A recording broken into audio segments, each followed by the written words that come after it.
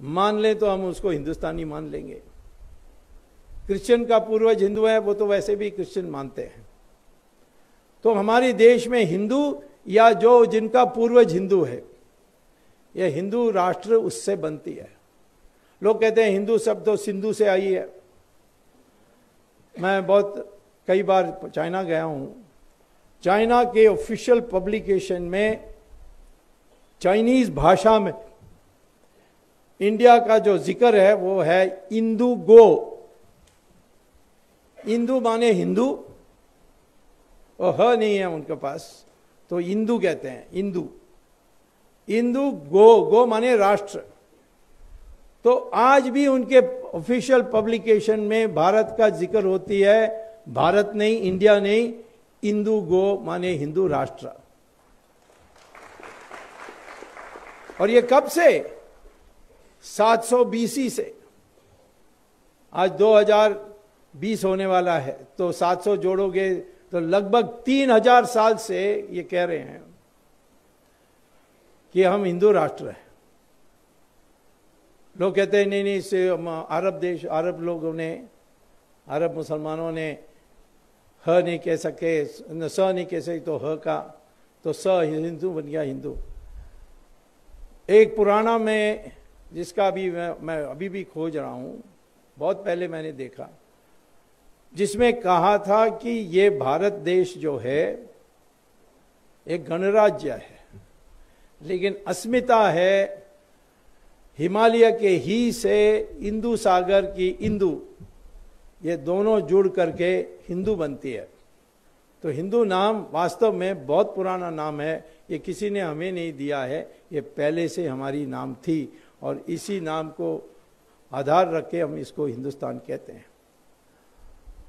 तो सावरकर जी ने बिल्कुल इस पर राष्ट्रवाद में एक आयाम दिया।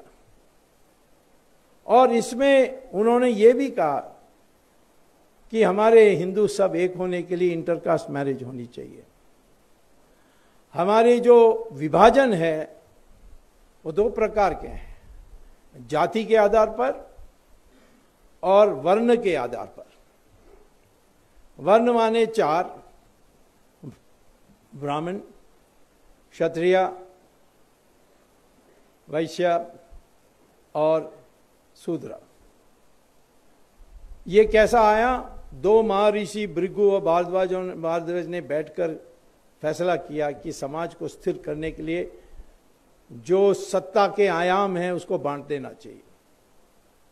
सत्ता के आयाम कौन से हैं?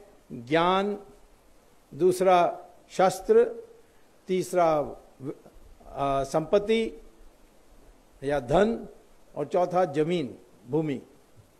ये चारों को बांट देना चाहिए, और किसी के पास एक से ज़्यादा नहीं होना चाहिए।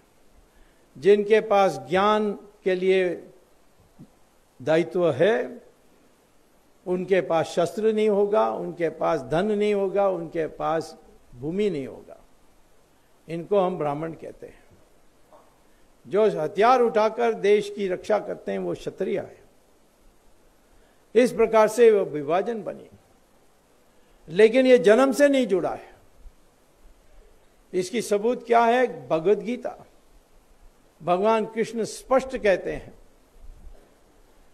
कि जो ये वन व्यवस्था है, ये जन्म से नहीं जुड़ा है, ये गुणों से जुड़ा हुआ है।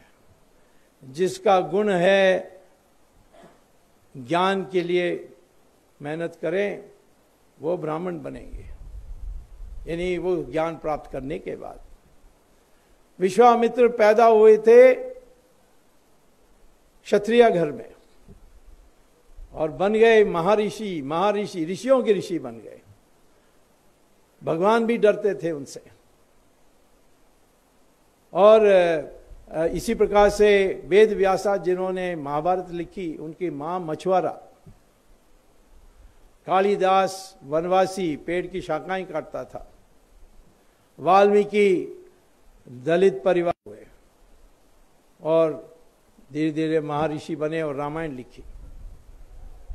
और रावण और, और ब्राह्मण जो है जिसको ये कहते हैं ब्राह्मण ही सब राज करने वाले थे ब्राह्मण कोई गलती किया तो उनको सजा मिली। रावण ब्राह्मण था। ये कितने लोगों को पता है कि रावण ब्राह्मण था? मेरे तो तमिलनाडु में अंग्रेज़ों ने दिमाग में भरा दिया और एक द्राविड़ा आंदोलन शुरू कर दिया। जहाँ सावरकर कहते थे, हम एक हैं कन्याकुमारी से कश्मीर तक। तब अंग्रेज़ लगाए, लगे हुए थे हिस्ट्री बुक्स लिखने में। और करुणानिधि ने कहा कि मैं कभी नहीं मान सकता रामा को। वो आर्यन है, मैं द्रविडियन हूँ और रावण हमारी भगवान है। और रावण लीला मनाते थे। अब तो नहीं मनाते। क्योंकि उनको बहुत समझाया और तमिल का रामायण भी दिखाया। और ये भी बताया कि रावण लंका में नहीं पैदा हुए। वो दिल्ली के परिसर के पार नोएडा है, वहाँ एक गाँव है, बिसरक गाँव, वहाँ पैदा हुए थे। उसकी पत्नी मंदोदरी मीरठ में पैदा हुई, जिसको अब एक एक्सप्रेस वे से जोड़ दिया है। और मीर, और मीरठ अब हस्तिनापुर का नाम होना चाहिए। प्रयाग का नाम आने वाला है अलाहाबाद की जगह में। ये ज़बरदस्ती थी ये नाम बदले गए थे। तो धीरे धीरे इसको हस्तिनापुर, दिल्ली को भी इंद्रप्रस्थ कर देना चाहिए और अहमदाबाद को कर्नावती। तो इसीलिए मैं कहता हूँ कि हमारी देश की जो एकता थी, इसको सावरकर ने पहचाना। और उनके साथ क्या नहीं किया? Gandhi murder case. में इनका नाम कैसे लाया गया? गांधी की हत्या से लाभ किसका हुआ? जवाहरलाल नेहरू का हुआ। तो क्रिमिनल लॉ में तो जिसकी लाभ हुआ, उसको पहले सस्पेक्ट बनाना चाहिए। गांधी की गोड से उनके सामने आए और गोली चलाई। और जो न्यूयॉर्क टाइम्स का कॉरेस्पॉन्डेंट था, और एक और ट्रिब्यून न्यूयॉर्क ट्रिब्यून और हिंदू न्यूज़पेपर जो तमिलनाडु से निकलती है, मद्रास से, उन्होंने उस समय वो उपस्थित थे, उन्होंने रिपोर्ट किया कि चार शॉट्स फायर हुए। लेकिन जब एफआईआर दर्ज हुआ तो उसमें लिखा है तीन शॉट्स फायर हुए। और जब गोडसे ने अपनी बयान दी थी, उन्होंने कहा कि मैंने तो तय करके आया था कि दो ही शॉट फायर कर सकता हूँ और उससे ज़्यादा भी नहीं फायर सकते, क्योंकि आमने सामने थे। तो उन्होंने फायर किया। उनका पिस्तल, इटालियन पिस्तल है तो इसमें भी कुछ इटालियन आ गया है। वो कहाँ से मिला उनको? कभी जाँच नहीं हुई इसकी। यदि गांधी को आमने सामने उस पिस्टल से मारा रिवॉल्वर उसको कहते हैं रिवॉल्वर तो दो से ज़्यादा नहीं कर सकते, उस पर पहले ही गांधी गिर जाता। तो उन्होंने कहा, दो पर पब्लिक प्रोसिक्यूटर ने कहा, नहीं, तीन। तो गोडसे ने फिर ज़्यादा जिद नहीं किया उस पर, क्योंकि उनका उद्देश्य था कि अपने संदेश देने के लिए। अब दो था या तीन था या चार था मर्डर केस में कैसे डिटरमिन होती है? पोस्टमार्टम से। इसको अमेरिका में कहते हैं ऑटोप्सी पोस्टमार्टम हुआ ही नहीं गांधी का। और गांधी जब गिरे, ज़िंदा थे, उनको उठा के ले गए थे हॉस्पिटल नहीं। उनको लुठा कर ले गए बिरला हाउस में, वहाँ ज़मीन में उनको लेटा दिया। ये सब एस्टैब्लिश फैक्ट है। ये कोई मेरी जो ढूंढी हुई रिसर्च नहीं है। ये तो सब है वहाँ कोर्ट के प्रोसीडिंग्स में। और गांधी ने एक गिलास पानी मांगी। 40 मिनट ज़िंदा थे। और विलिंगडन हॉस्पिटल जिसका नाम आजकल लोहिया हॉस्पिटल वो बगल में है। वहाँ क्यों नहीं ले गए? जहाँ तीन, तीस जनवरी मार्ग जिसका नाम है उसमें से बिरला हाउस, उसमें से ये विलिंगडन हॉस्पिटल जिसका नाम है लोहिया हॉस्पिटल आजकल, दस मिनट से ज़्यादा नहीं होता। क्यों नहीं गांधी को उस किसी ने अभी तक पूछा नहीं?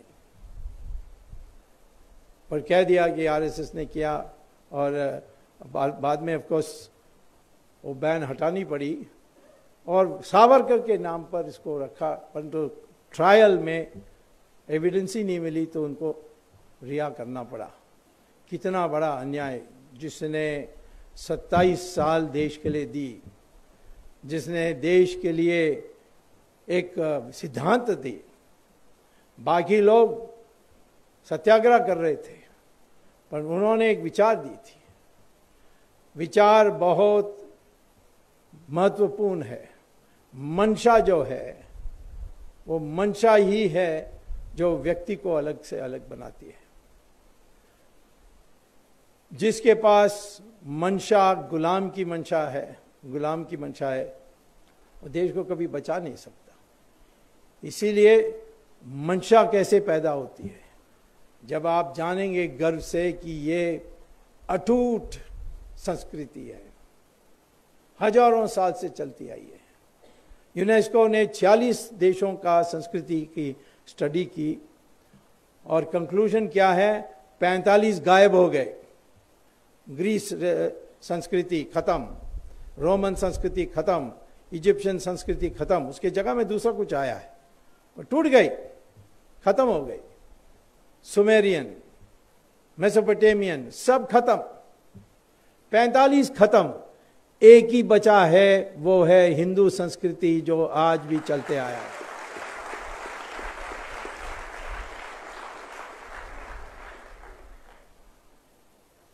मैंने बताया नहीं कई बार कि मुसलमान ने तो इस देश में कितना भी कुकर्म करने के बाद भी और अंग्रेज़ों ने भी करने के बाद भी इस देश अभी भी बयासी परसेंट हिंदू है, क्योंकि हिंदू लड़ते रहा, इसका कोई ज़िक्र नहीं है। किस प्रकार से गुरु गोविंद सिंह ने इनकी कमर तोड़ी अंग्रेज़ों की? नहीं है। और यदि अंग्रेज़ ऐसे मुगलों की कमर तोड़ी, उसका कोई इतिहास में ज़िक्र नहीं है।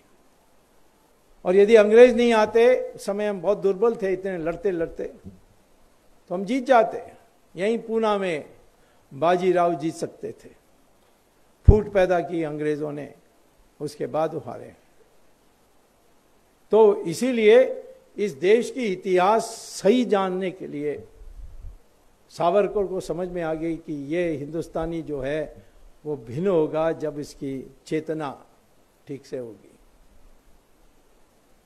कितने भी शक्तिशाली हो, परंतु मंशा आपकी ठीक नहीं है तो आप कभी खड़े नहीं हो सकते। सर्कस में सिंह हैं, कितने उसको अच्छा खिलाकर, पिंजड़े में रखकर, फिर रिंग मास्टर आकर उनको नचाता है, ऊपर चढ़ो। मुँह खोलो रिंग रिंग के अंदर से कूदो। और आज्ञा मानती है। ये पाँचों सिंह मानते हैं। क्यों? क्योंकि छोटे से उनको तैयार किया गया आज्ञा मानने के लिए। तो आज्ञा मानती है। मैं कई बार कहता हूँ, लोग मुझे हर बार पूछते थे। अब तो नहीं पूछते हैं, पर पहले पूछते थे। ये मनमोहन सिंह प्रधानमंत्री की कुर्सी में बैठने के बाद ये इटालियन महिला से क्यों डरते हैं? तो मैंने कहा, वो भी सिंह, सर्कस का सिंह है। यही मैं कह रहा हूँ, पाकिस्तान को हम चार टुकड़ा कर सकते हैं आज। उसके लिए मंशा चाहिए। पाकिस्तान में बलूचिस कहते हैं कि हमें अलग कर दो। सिंध के लोग कहते हैं, हमें अलग कर दो। पख्तूनिस्तान कहते हैं कि हमें अलग, पख्तून लोग कहते हैं, हमें अलग कर दो। तो पाकिस्तान का चार टुकड़ा कर दो। पहली बार दो दो टुकड़ा तो हो ही गया है। अब चार टुकड़ा कर दो, उसके बाद सोलह टुकड़ा कर दो। टुकड़ा टुकड़ा करते रहो। यही तो है। इसी को कहते हैं पुरुषार्थ ये मंशा से आती है। हम कर सकते हैं, परंतु कोई ना कोई संदेह उठ जाती है। ये बीमारी अर्जुन की बीमारी है। महाभारत शुरू होने वाली है। सेना आमने सामने है। और अर्जुन क्या करता है? हथियार डाल के कहता है, मैं नहीं लड़ सकता, मैं क्यों अपने भाइयों को मारूं? तो कृष्ण भगवान उनको समझाना पड़ रहा है। कथा, भगवत गीता की कथा उनको सुना रहा है। और उसके बाद उसको तैयार करता है। यही आज हमारे हिंदू की हाल है, जो सावरकर ने बदलने के लिए कोशिश की। डरता है। कभी कहता है ऐसा है वैसा है मैं क्यों इसमें पढ़ूं? सा, सावरकर ने अपनी सारी जीवन छोड़कर भारत के लिए उन्होंने त्याग किया। वो भावना हमारी देश में है। लोग परंतु बहुसंख्या में नहीं है। इसीलिए आज हमें इतनी स्ट्रगल करने पड़ती है। धीरे धीरे हम आ गए हैं। धीरे धीरे जैसे युवा की पीढ़ी आ रही है, उनकी मंशा बदलते जा रही है। जहाँ हम चमक सकते हैं, चमका के दिखाया सॉफ्टवेयर में, ऑटोमोबाइल स्पेयर पार्ट्स में हाँ शिक्षा जगत में, विदेशों में। लेकिन हमारे देश में जो शक्ति दिखानी चाहिए कि मैं छेड़ोगे तो हम टुकड़ा टुकड़ा कर देंगे। छेड़ो मत, उसके बाद हम छोड़ेंगे नहीं। ये जो है, ये जो मंशा, ये है संदेश। सावरकर का। ये कैसे ला सकते हैं? हमारी सरकार इस मंशा को कैसे पैदा कर सकती है? पहले सबको साफ़ दिमाग में होनी चाहिए, ये देश, ये पुरानी देश है हिंदुस्तान, ये किसी और ने नहीं बनाई, ये अंग्रेज़ों ने अपनी एडमिनिस्ट्रेटिव सेटअप देकर नहीं बनाई, ये शुरू से हिंदुस्तान है। जब भी कोई राष्ट्रीय प्रश्न आती थी, हम राष्ट्र के आधार पर इकट्ठे होते थे कि ये जो देश है, ये हिंदू देश है, उसमें अन्य लोग रह सकते हैं क्योंकि हिंदू जो उपासना पद्धति और धर्म है, वो कहती है कि सब धर्म से भगवान प्राप्त हो सकता है। कोई और धर्म नहीं कहता ये। क्रिश्चियन कहते हैं, हमारी रास्ता या डेविल की शिकार। मुसलमान कहते हैं कि मुसलमान बनो या तुम काफ़ी रो और तुम्हें खत्म कर देंगे। सब कुरान में है। पर हमारी एक ही एक मात्र धर्म है जो कहती है कि हर धर्म से, हर उपासना पद्धति से भगवान प्राप्त हो सकता है। इस धर्म को हमारे लिबरल्स कहते हैं, ये कम्युनल है। हम कहेंगे गर्व से हम हिंदू हैं तो कहते हैं तो